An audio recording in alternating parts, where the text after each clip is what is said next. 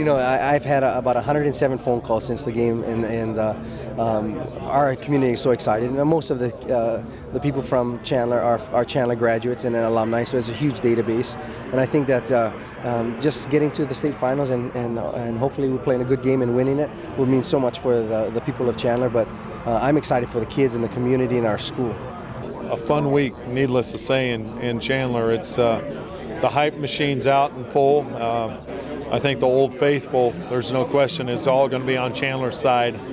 And uh, we'll have our Ham- Hamilton faithful that's been there for the last, you know, 12, 15 years. So we're looking forward to it, though. This is a great opportunity for our kids, not only to uh, play Chandler, but after the whipping they put us, put us through the first time, I think our kids are anxious to play them again. I mean, it's definitely like we're hyped up being that it is the first time Chandler's gone to the state championship since 1949, and the one from 1949 was just a state B championship. So for us, it's the first Division One state championship in Chandler High School's history. So we've been very focused and like we have our mind in the right place it needs to be. Uh, we just we can't wait for Friday night. You know, it's definitely an advantage for us because you know we had a lot of guys that's that's been here before. So I mean, we, we definitely we know what to expect.